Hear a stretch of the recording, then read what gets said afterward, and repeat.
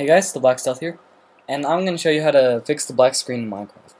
So first thing you got to do is you got to make sure your mod is compatible for the current version of Minecraft. If it's not, then that's probably your problem.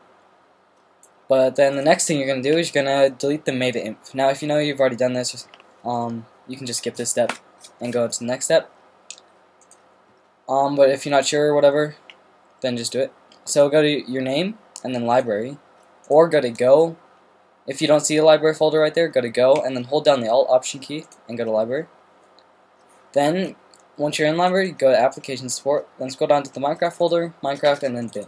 Uh, you've probably already done this since you installed the mod, but now you have Minecraft.jar.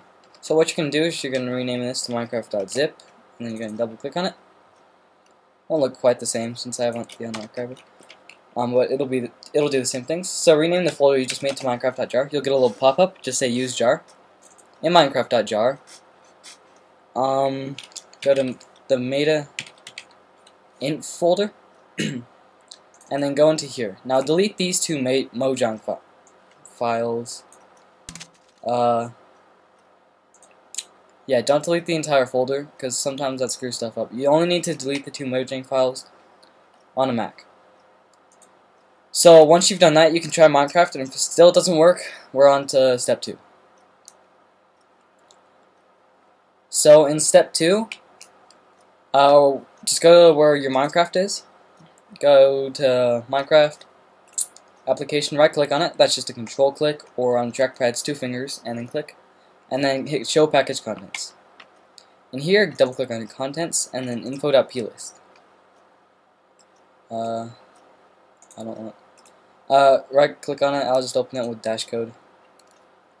if you don't have Dashcode, open it with TextEdit. And scroll down almost all the way to the bottom where it says string 1.6 plus and then string. If this says 1.5, then change it to 1.6. Once you've done that, if it says 1.6, you're good. Once you've done that, um, open up a new Finder window. So go to File, New Finder window. And in here, uh, go to Macintosh HD.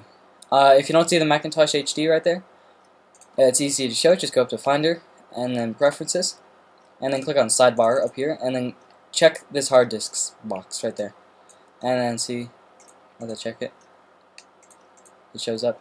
So uh, once you're on Macintosh HD, go to System, Library, and then go to Frameworks. Once you're in here, just search for Java, and then look for Java VM Framework, right here. You'll you will have this. If you've ever tried to open up Minecraft before, and you've been able to do it and play, uh, you will have this file. So uh, once you're in here, go to Resources, and then go to Mac OS, uh, just Mac OS. Right here you see a Java Application Stub. Now you're just going to copy this, so hover over the Mac OS, so just drag it, hover over this, and then just hit replace. It'll automatically copy it for you. And so yeah.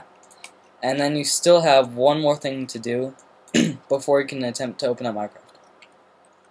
So the next thing we got to do is just search for Java preferences. And in here you should see 64-bit and 32-bit. If the 64-bit isn't at the top, make sure you, you click on it, you hold it, and you drag it all the way to the top. Once this is up there, make sure 64-bit uh, is highlighted, hit options, and then you're going to paste this in. Uh, this is gonna like give Minecraft one gig of RAM, and um yeah, and then you can do it with 32-bit as well. So just do that, and once you've done that, you're actually not quite ready. We still need to go back into the contents and open up this info.plist. And right here, where it says SM XMS, it won't say this for you. Um, where it says XMS, it will say like 512 or something. Just change that to 1024. And then right here where it says 204, or where, what, um, it'll probably say 10 something. Just change that to 1024 as well. Uh, you can change it to 2 like I had it. I'll just change it back. Uh, well, once it's like that, Then you can try opening up Minecraft. Ah. Now you can try opening up Minecraft.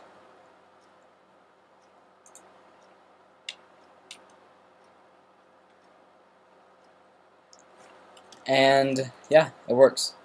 So, yeah. Uh, now, one last thing. If you still have a black screen fix, uh, you installed the mod wrong. Or there's two mods conflicting, two files conflicting from two different mods that you installed. Or there's something going on with the mod. But for now, it's not your computer, and it's the mod. So, yeah. Thanks for watching Black Screen Fix uh, 2.0.